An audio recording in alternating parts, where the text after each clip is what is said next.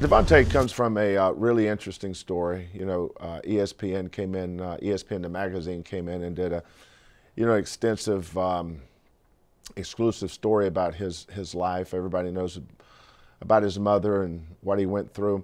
What they don't know is that his father died uh, in November of 2014.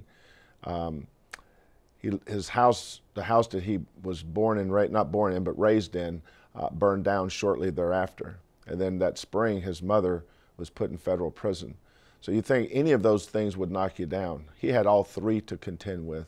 Um, and so his, his um, sophomore year at uh, East Mississippi Junior College was a complete wash. And uh, I found out about him in May. Um, the last day you could sign a binding letter of intent is May 20th. I had him on campus May 20th. And I said, Let's, listen, Devonta, we're not recruiting you. We want to sign you. You either sign this now or we're going to move on.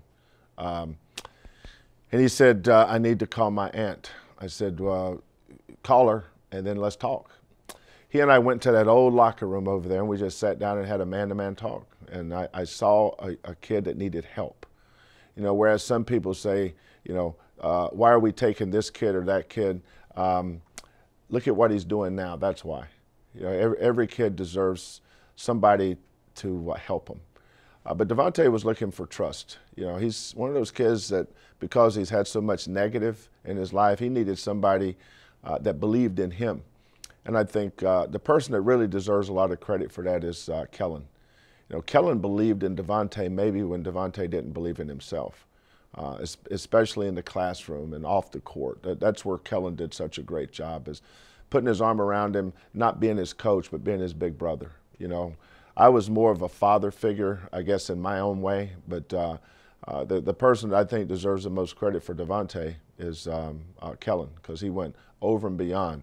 You know, he had the uh, legal problems that followed him here. We had to get that straight with the um, uh, professionals here in Houston, and um, and then you know last year, you know, he got through the year. Didn't have a great year because of all the, the things swirling around in his life. But look at him this year.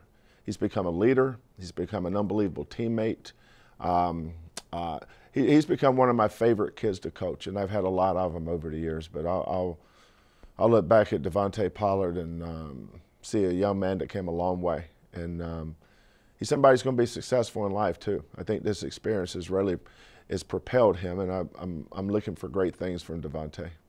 He's really talented. I always describe him as a Lamar Odom type player.